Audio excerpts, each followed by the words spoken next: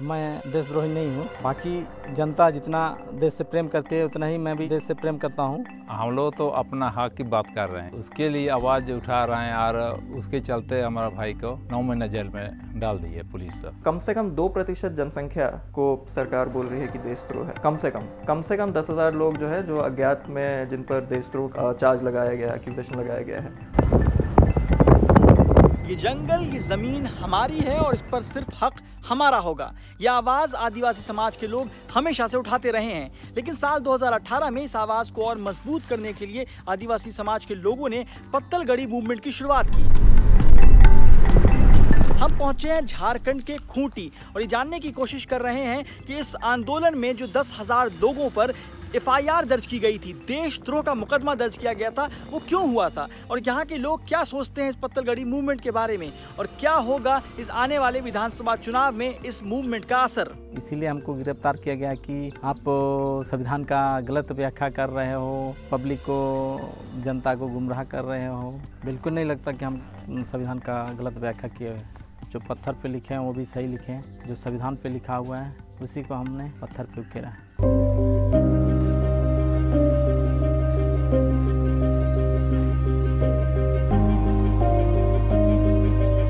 पत्थलगड़ी का माओवादी के साथ या तो उग्रवादी के साथ किसी प्रकार का कोई संबंध नहीं है। यहाँ के लोगों का जो अस्मिता का सवाल है कि इस क्षेत्र का शासन व्यवस्था बिल्कुल ही अलग है। संविधान के पाँचवीं अनुसूची में इस क्षेत्र का शासन और नियंत्रण को चलाने के लिए वहाँ पर प्रावधान है, लेकिन इस प्रावधान को अवहेलना किया गया इसके मुताबिक यहाँ का शासन व्यवस्था नहीं हुआ। इसी के कारण से लोग आक्रोशित होकर के पत्थलगढ़ी का मुहिम को आगे बढ़ाए।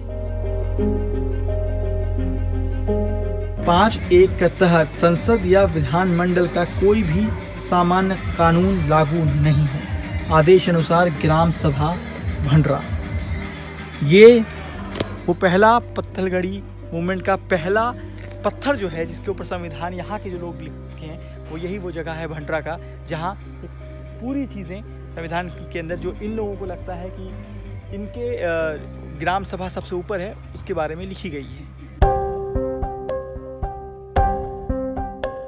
जो गांव-गांव में हम लोग की फैक्ट फाइंडिंग टीम ने पाया था कि मुख्यतः ये जो आदिवासियों का शोषण हो रहा है या जो ज़मीन पे हमले हैं, जो भूमि कानूनों में जो बदलाव की कोशिशें हुई हैं, जो ग्राम सभा को जो पाँचवीं अनुसूची में जिस प्रकार से ग्राम सभाओं को अधिकार मिलना है, पेशा कानून में जो मिलना है, जो नहीं मिला है तो इन सब के विरुद्ध ये कहीं ना कहीं एक गांव-गांव में एक आवाज़ थी और उसी हिसाब से ये शुरू हुआ और लोग ये गाँव के गाँव अगर हम लोग ने हर गाँव में यही पाया कि कहीं ना कहीं मूल चीज़ें यही हैं।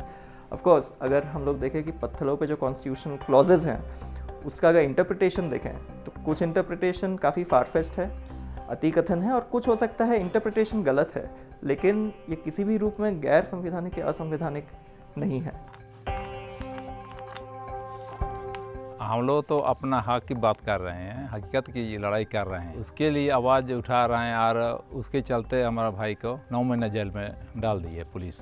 केस में उसका नाम तो नहीं था अज्ञात में पकड़ लिया उसको। करीब पंद्रह से बीस लोग अभी जेल में हैं और एफआईआर तो इस क्षेत्र में जितने भी करीब 145 गाँव के ग्राम प्राधानों पर एफआईआर किया गया है।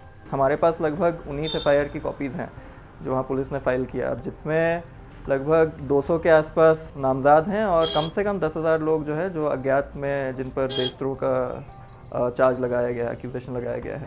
और कुछ एफ़ ऐसे हैं जिसमें अज्ञात में नाम भी मेंशन नहीं है नंबर्स मेंशन नहीं है। तो अगर उनको भी जोड़े तो दस हज़ार से काफ़ी ज़्यादा होंगे ऐसे केसेस उसके बाद कई लोग जेल में है, अभी गाँव में काफ़ी डर का माहौल है कि अज्ञात के नाम पे किसी को भी उठा के ले जा सकते हैं। तो ये डर का माहौल तो पूरे हर जगह ये बना हुआ है।